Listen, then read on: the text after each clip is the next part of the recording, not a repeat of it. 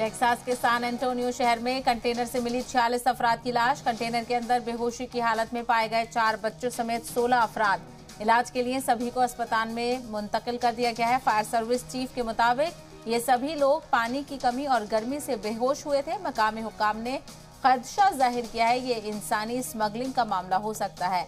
वाजे हो कि हालिया बरसों में अमेरिका मैक्सिको सरहद से गैर कानूनी तौर पर बॉर्डर क्रॉस करते हुए कई तारकिन वतन अपनी जान गंवा चुके हैं। 2017 में सान एंटोनियो में ही कंटेनर से 10 जबकि 2003 में 19 अफराद की लाश मिली थी।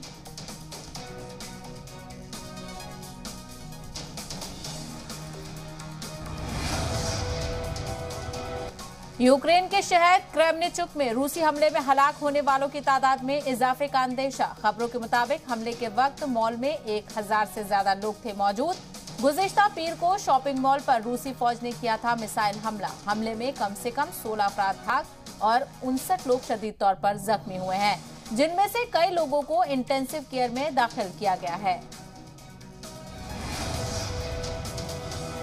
खारकीव में भी रूसी फौज ने शहरी इलाकों को निशाना बनाया। मकामी गवर्नर के मुताबिक रिहायशी इमारत और प्लेग्राउंड पर हमला किया गया। शेलिंग में पाँच अफराद हलाक और 22 लोग जख्मी हुए हैं।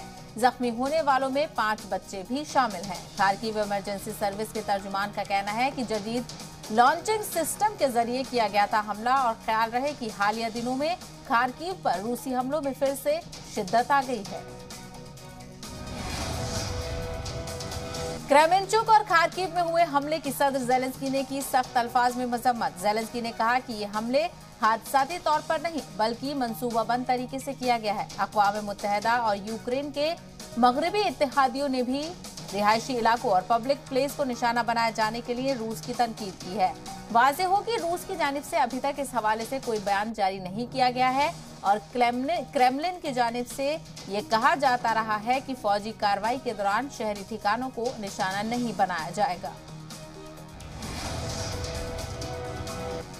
यूक्रेन ने अकवा मुतहदा सलामती काउंसिल का हंगामी इजलास बुलाने का किया मुतालबा। अल्बेनिया के सिफारती मिशन के तर्जुमान के मुताबिक क्रेमिनचुक वाके शॉपिंग मॉल पर हुए हमले पर चर्चा के लिए यूक्रेन आज शाम सात बजे हंगामी इजलास तलब करने की दरख्वास्त कर रहा है। वाजे हो कि इस वक्त अल्बानिया सलामती काउंसिल की सदारत कर रहा है। आपको बता दें कि इससे कबल गुजशत इतवार को भी रूस ने राजधानी कीव के मुख्तलिफ़ मकाम को निशाना बनाया था। उर्दन की उकबा बंदरगाह पर जहरीली गैस के अखराज से मरने वालों की तादाद हुई तेरह। ढाई सौ से ज़्यादा लोगों के जख्मी होने की इतला मकामी इंतजामिया ने की लोगों से घरों में रहने और मकानात की खिड़कियाँ बंद रखने की अपील। हादसे का सीसीटीवी फुटेज आया सामने। 25 टन क्लोराइन गैस के भरे कंटेनर के बंदरगाह पर लंगर, अंदाज, जहाज़ पर गिरने के बाद ये जोरदार धमाका हुआ था और वजी अजम बशर अल खसाबना ने मामले की तहकीकात का हुक्म दे दिया है। वजी दाखिला माजिन अल फराया के क्यादत में तश्कील दी गई तहकीकती टीम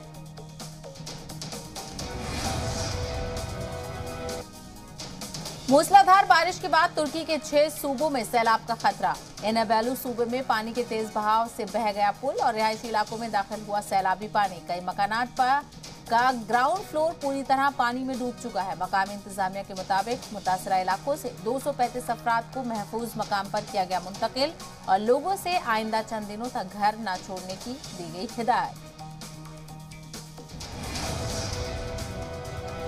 गुजशत पंद्रह दिनों के दौरान शुमाली कोरिया के सरबराह किम जोंग उन ने तीसरी दफ़ा सीनियर अहलकारों की बुलाई मीटिंग। सरकारी मीडिया के मुताबिक कोविड बहरान और सैलाब से पैदा सूरत हाल को लेकर मीटिंग में चर्चा हुई और मूसलाधार बारिश के बाद राजधानी प्योंगयांग समेत मुल्क के मुख्तलिफ़ हिस्सों में सैलाब की कैफियत पैदा हो गई है।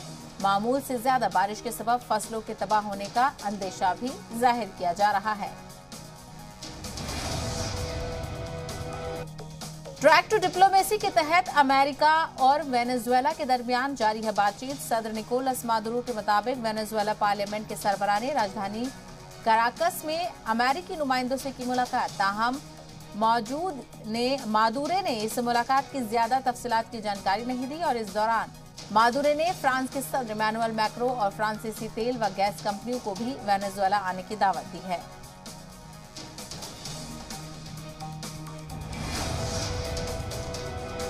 विंबलडन के दूसरे राउंड में पहुँचे टॉप सीडेड नोवाक जोकोविच। फ़र्स्ट राउंड में जोकोविच ने जनूबी कोरिया के नॉन सूनवू को शिकस्त दी है और सख्त मुकाबले के बाद सूनवू को दी छह चार तीन छह छह तीन और छह चार से शिकस्त।